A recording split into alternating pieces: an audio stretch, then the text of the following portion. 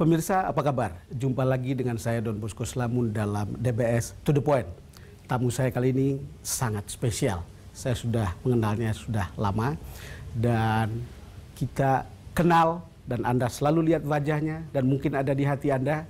Dia adalah seorang tokoh yang sangat populer dan semua tampak sederhana di, di tangan atau di pikiran tokoh ini.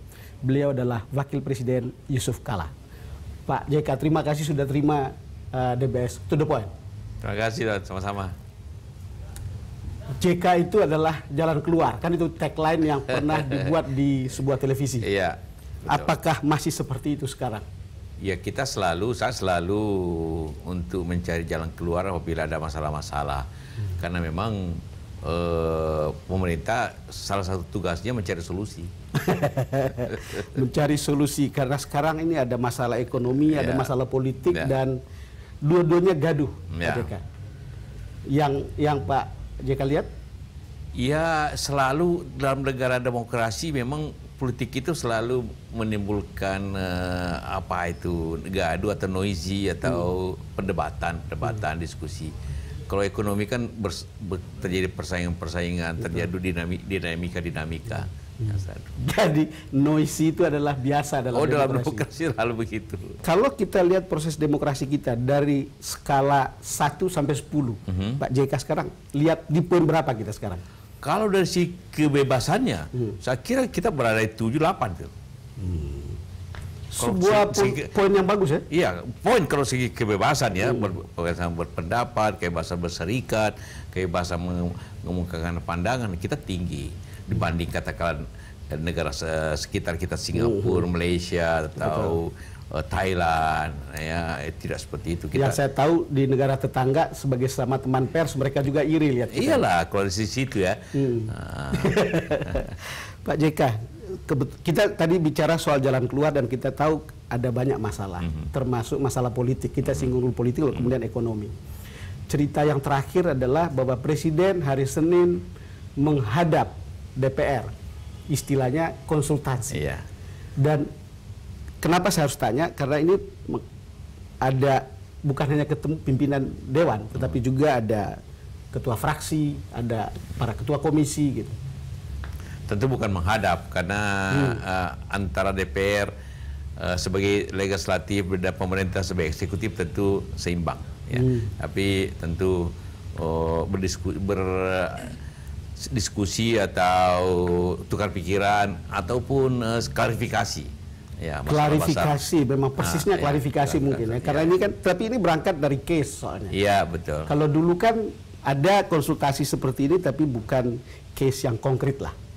Ya ini dalam kasus ini BG Setiap tahun setidak-tidaknya terjadi tiga empat kali eh, suatu eh, pertemuan antara pemerintah dengan eh, DPR. DPR. Nah, Hmm, tetapi kalau lihat begini apakah Bapak tidak lihat ini sebuah gejala baru yang bisa juga men- menimbulkan soal-soal politik baru gitu misalnya ya pasti semua masalah yang krusial pasti bisa menimbulkan masalah politik. Tapi kita sudah eh, matang, dewasa untuk menyelesaikan itu secara baik, baik secara demokratis ataupun secara kekeluargaan, saling memahami gitu kan. luar biasa selalu Pak JK selalu lihat itu lebih optimis kelihatannya Dan kenyataannya kan begitu. begitu. Karena yang menarik untuk kita lihat adalah begini. Mhm. Kan ada partai pendukung pemerintah atau pengusung Jokowi JK Iya. yang juga meng- menghendaki pertemuan ini gitu. Padahal biasanya partai pendukung kan apa saja yang dibuat oleh pemerintah itu harus didukung. Ya itulah memang perbedaan demokrasi kita dengan banyak negara lain bahwa eh, partai pemerintah tidak eh, hitam putih. Begitu juga partai yang katakan di luar pemerintah juga tidak hitam putih. Tapi banyak kadang-kadang mempersoalkan suatu kasus, tapi bukan prinsip eh, suatu eh, sikap begitu, tapi satu case yang tidak berbeda pandang kasus itu. Jadi ini bukan sebuah prinsip tapi based on kasus ya. Kasus ya. Hmm. Jadi kalau Pak JK lihat ini tidak apa-apa gitu. Ya memang kalau kita lihat ya tidak apa-apa, tapi se- sejauh uh, pemerintah uh, atau DPR dapat menerima penjelasan pemerintah tentang mengklarifikasi kasus yang diminta itu. Karena yang saya dengar ceritanya adalah bahwa ini kemungkinan perjalanan Badarudin Haiti di DPR itu tidak akan mulus. Atau akan mulus ketika sudah presiden menjelaskan. Iya, saya kira itu akan mulus. Karena memang kita juga saling menghormati, menghormati DPR telah memutuskan BG sebagai Kapolri. Kemudian karena ada masalah-masalah yang eh, katakanlah eh, didebatkan di masyarakat tentu. Karena itu eh, pemerintah presiden menarik kembali itu untuk menggantinya Pak Badrudin, eh, Pak Badrudin karena itu tergantung nanti penerimaan DPR atas penjelasan uh, presiden. Ya, karena kalau kita lihat seperti ini ada pertanyaan sebetulnya tentang kan presiden sudah menjelaskan itu ke publik. Ya. Alasannya. Apalagi sih yang perlu? DPR kan lembaga resmi yang formal. Hmm. Jadi uh, di samping penjelasan ke publik juga butuh penjelasan formil hmm. kepada pemerintah dalam bentuk surat ataupun dalam pertemuan resmi okay. yang tercatat gitu kan. Oke, okay. Pak JK kita uh, jeda sejenak. Hmm. Pemirsa kita akan segera kembali. Kembali bersama Pak Yusuf Kala dan saya dalam DBS to the point. Pak JK, tadi kita bicara soal politik ya. yang ke DPR di mana kemudian partai pendukung pun menginginkan itu. Uh, supaya presiden menjelaskan itu dalam rapat konsultasi. Bahkan ya. ada bilang kalau ada hak angket ikut-ikutan juga. Kalau lihat seperti ini kan agak anomali situasi politik seperti ini Pak JK. Ya itulah saya katakan tadi hmm. uniknya demokrasi kita. Jadi tidak ada lagi partai atau koalisi yang 100% uh, eh, oposisi hmm. ataupun uh, hitam putih kepada pemerintah. Selalu ada bagian-bagian yang tetap menanyakan kasus demi kasus yang hmm apakah sependapat atau tidak sependapat. Itu yang terjadi sejak pemerintah dulu juga begitu. Oh, walaupun PKS katakanlah bagian pemerintah tetap aja PKS oh, iya, bertanya iya. pemerintah. Nah. saya saya teringat bahwa memang itu juga waktu koalisi yang lalu ya. Iya iya iya. Ya cuman kali ini agak berbeda sensenya menurut hmm. saya Pak JK. Karena hmm. kalau kita lihat jangan-jangan sebabnya adalah hubungan PDIP atau Ibu Mega dan Jokowi JK atau pemerintah lah kira-kira ya. begitu. Apa apa itu faktor menentukan? Iya tentu uh, Ibu Mega sebagai ketua PDP menjadi sangat penting untuk pemerintah karena beliaulah yang uh, katakanlah uh, sebagai bahagian yang mengusung hmm. uh, yang penting menguat pendukung utama atau partai pemerintah yang mendukung kami berdua yaitu hmm. sangat penting uh, bukan sangat penting mutlak bahwa hmm uh, beliau mempunyai uh, kewenangan untuk tetap berbicara sebagai bahagia uh, partai pemerintah tentu bahwa ada hal-hal tertentu tadi saya katakan tadi kasus-kasus uh, yang sebagai sebagai partai ingin menanyakannya ke pemerintah tentu juga itu memungkinkan dan itu oh terjadi. Karena itu pemerintah walaupun PDIP sebagai partai pendukung pemerintah atau ataupun pencalonkan uh, pemerintah, maka pemerintah harus menjawabnya juga dengan benar. Ya, karena begini Pak, orang kemudian berpikir Pak JK itu betul akan menjadi jalan keluar karena kita mendengar artinya sudah banyak yang tahu di luar bahwa hubungan antara Jokowi dan Ibu Mega atau PDIP itu tidak harmonis saat ini. Saya yakin Ibu Mega uh, Pak Jokowi tetap menganggap Ibu Mega sebagai betul. pimpinan partai pengusung. Jadi pasti uh, harus memperhatikan sama dengan situasi partai di mana pun di dunia ini. Hmm. Kalau di Jepang itu partai yang menang dan memilih adalah LDP, ya. maka tentu perdana menteri juga sebagian LDP harus juga uh, memberikan uh, apakah kesempatan yang pertama ke PDP untuk uh, penjelasan dan sebagainya atau di Malaysia AMNO ya. harus seperti itu. Ya, tapi itu mungkin internal, tapi itu internal. tidak di, di di dalam forum yang lebih luas begitulah. Ya, ini memang berbe uh, berbeda. Saya saya tahu itu, saya, saya juga tentu memahami sebagai keunikan. itu dipahami sebagai keunikan. Ya. Saya kira itu jawabannya sangat netral Pak Sukala. uh, yang ingin saya juga tanyakan sebetulnya kan begini. Ini seperti posisi kalau lihat ya, kalau ada ketidakharmonisan itu kan karena belum semua kepentingan bisa diagregasi oleh namanya Jokowi atau Jokowi JK gitu. Terutama untuk partai-partai pendukung ini, Pak. Saya ingin katakan dulu begini, hmm. sebagai fakta hmm. bahwa PDIP khususnya Ibu Mega hmm. itu dalam pemerintahan ini tujuannya ialah kemajuan bangsa Betul. ini, bukan kekuasaan. Kalau itu sih kita absolutely kita, kita paham. Contohnya kalau dari sisi kursi, PDP itu sebenarnya mempunyai berhak untuk mendapat setidaknya tujuh kursi di pemerintahan di kabinet. kabinet. Hmm. Tapi beliau hanya uh, minta empat aja. Jadi kalau uh, eh, PDP itu tujuannya kekuasaan tentu hmm. minta semua, hmm. tapi tidak. Jadi uh, itu prinsip pokok yang ingin harus diketahui dulu bahwa hmm. dalam hal ini bukan karena kekuasaan, hmm. tapi mungkin ada harmonisasi yang ingin diharapkan, kita harapkan lebih baik. Hmm. Karena ini juga dengar di luar, jadi PDIP akan mengadakan kongres hmm. di Bali, Bali pada bulan April ini. Ya.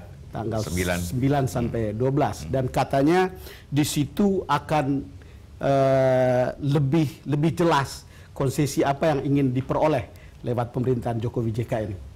Ya karena kongresnya belum berlangsung, saya juga oh, tidak mengetahui apa yang uh, dihasilkannya. Apalagi saya tentu bukan bagian daripada peserta kongres karena saya bukan apa uh, pengurus PDIP tentu. Hmm. Tetapi selalu diharapkan Pak JK yang dianggap bisa menjembatani soal-soal begini dan bisa mencairkan. Ini bukan karena di depan Pak JK, saya rasa banyak soal besar dulu konflik-konflik besar. Anda ikut dan menjadi penentu untuk menyelesaikannya. Yang begini sebetulnya kan kalau Anda lihat tidak sebesar yang begitu. Aceh, Poso, Ambon tidak sebesar begitu kan? Ya tidak. Hmm. Tapi memang uh, katakanlah perbedaan pendapat dari politik kadang-kadang uh, rumit juga untuk mengatasinya karena butuh saling pengertian kedua belah pihak. Dan saya yakin itu nanti pada akhirnya uh, dapat diharmonisasikan kembali. Dapat kita selesaikan nanti pada waktunya. Saya, saya mendengar juga dari Jokowi bahwa akan menyelesaikan soal ini. Hmm. Gitu. Tetapi faktanya adalah dulu sering berkunjung ke Teguh Umar, tapi sekarang kok tidak tampak. Setidak-tidaknya wartawan saya tidak ada gambar kami datang dari sana gitu. Iya.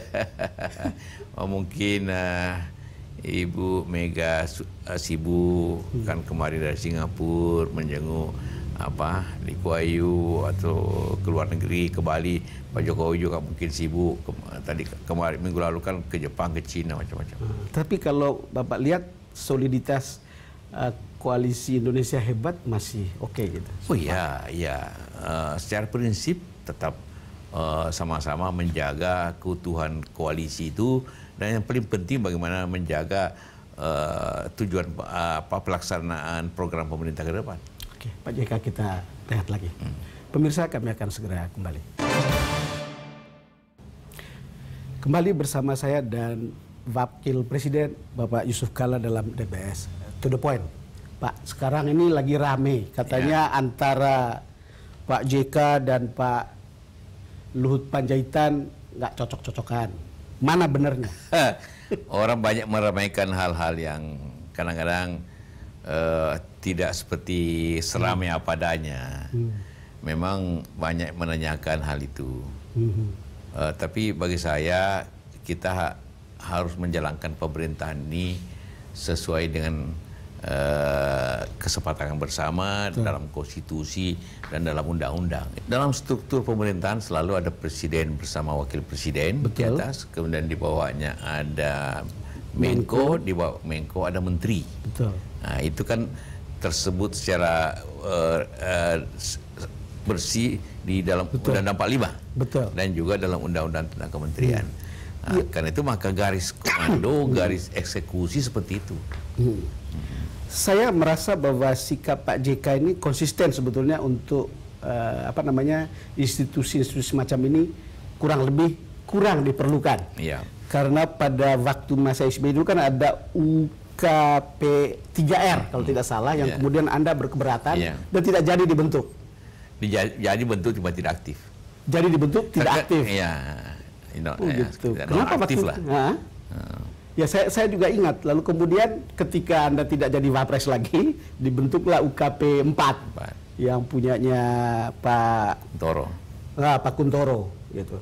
Bukankah institusi seperti ini juga yang sebetulnya sekarang dipegang oleh Pak Luhut Panjaitan? Iya, eh, institusi staff itu pertama selama tugasnya monitoring, evaluasi tentu baik-baik saja, penting. Eh, dengan ketentuan tentu tidak bersifat eksekusi, eksekusi. Tidak mempunyai eh, kewenangan eksekusi, tidak punya kewenangan koordinatif, karena tentu ini eh, di pemerintah itu ada mengkoknya yang bertugas koordinasi dengan menteri-menteri, menterinya juga bertanggung jawab untuk eh, katakanlah pengendalian masing-masing proyek di bawahnya, Ah, bahwa eh, lembaga kepala staf itu untuk memonitoring dan evaluasi sejauh itu ya oke saja. Sejauh monitoring dan evaluasi tapi tidak eksekusi. Iya. Eh, job description itu apakah terpenuhi apa tidak sekarang ini? Iya, dengan- di sebenarnya itu eh, selalu disebutkan oleh baik oleh staf kepresidenan Pak Luhut tentu selalu dikemukakan seperti itu. Eh, walaupun memang eh, dalam kepresnya perubahannya tentu ada hal-hal yang juga saya sudah sampaikan bahwa kita harus eh, tetap eh, sesuai dengan aturan-aturan yang ada. Apakah faktor ini mempengaruhi hubungan Pak JK dengan eh, Presiden Jokowi?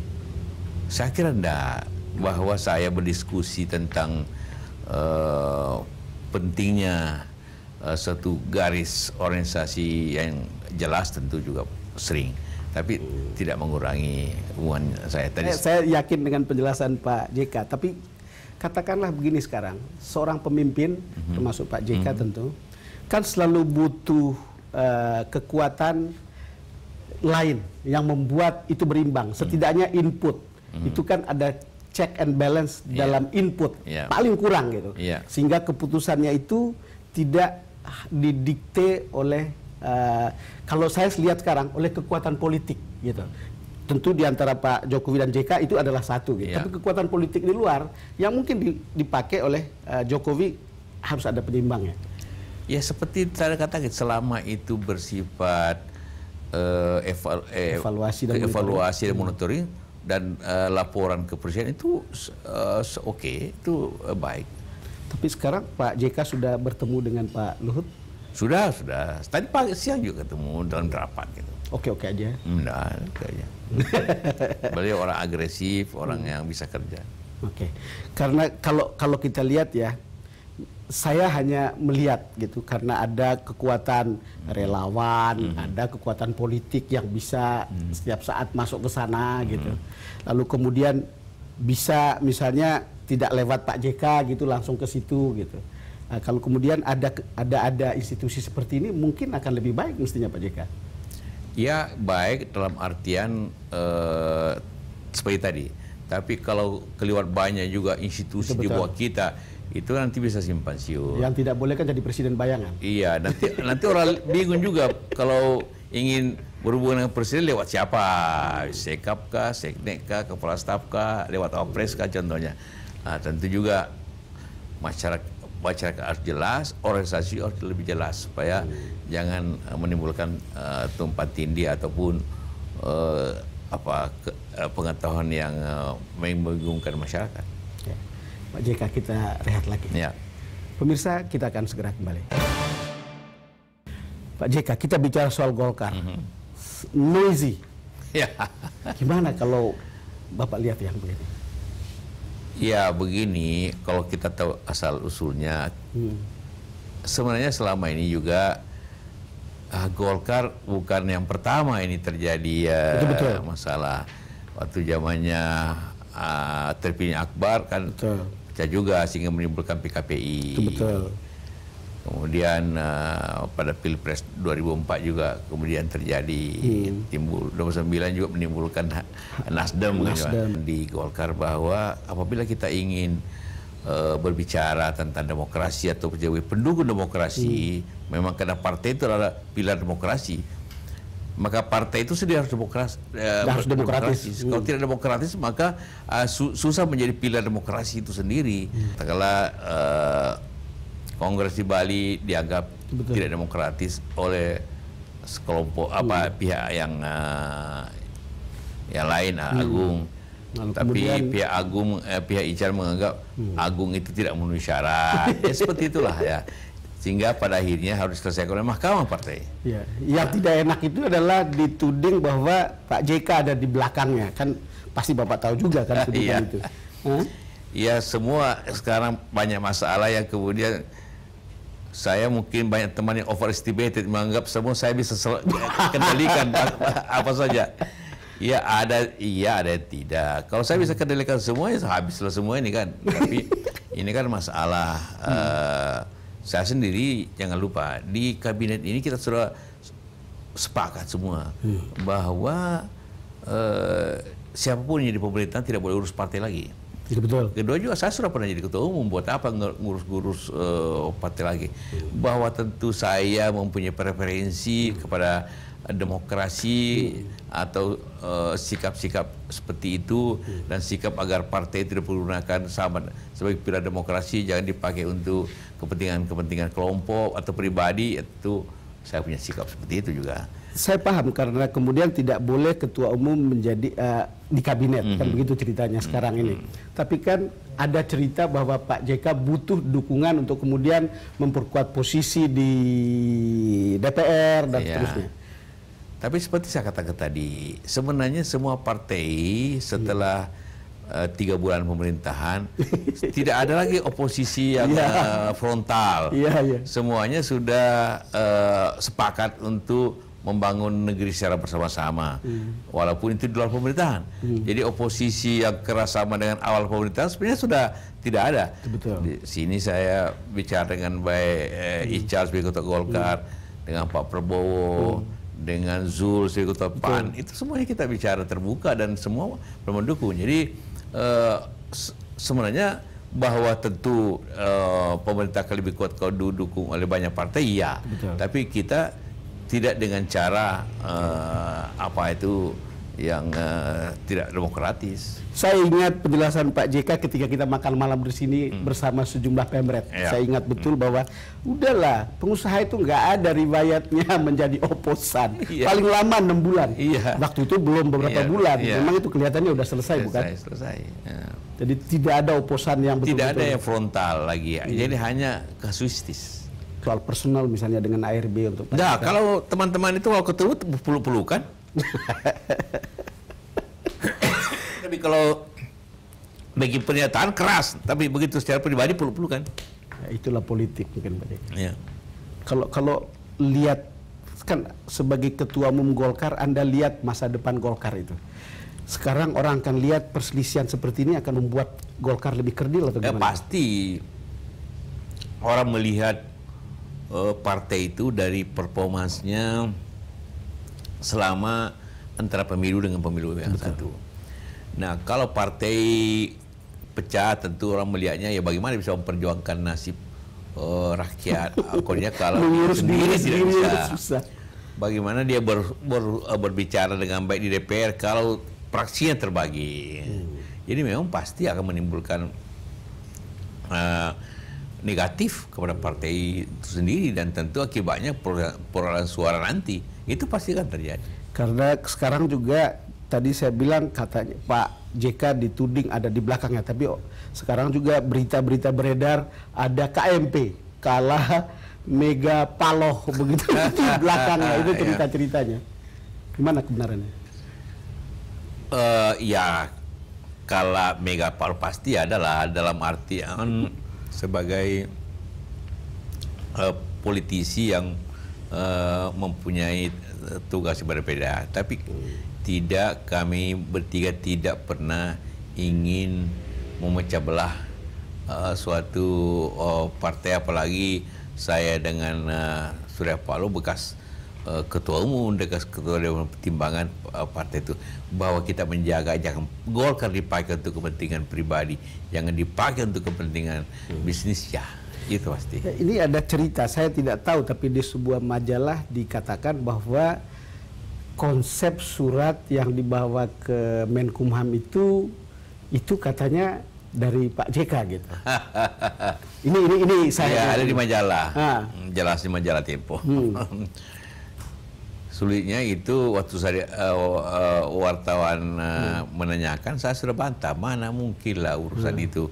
Kalau buat apa kalau konsepnya ya saya bisa kan panggil eh, menterinya. Tapi saya tidak lakukan itu. Jadi buat apa lewat eh, Ibu Mega? Tidak lah itu. Kalau cerita begitu sih orang PDIP bilang kalau juga menghancurkan Golkar mestinya Ibu Mega itu sudah lakukan sejak dulu Iya. karena pernah jadi presiden bukan? Iya, iya. Tidak, Ibu Mega tidak bermaksud begitu. Pak JK kita rehat lagi. Ya. Pemirsa kami akan segera kembali setelah jeda berikut.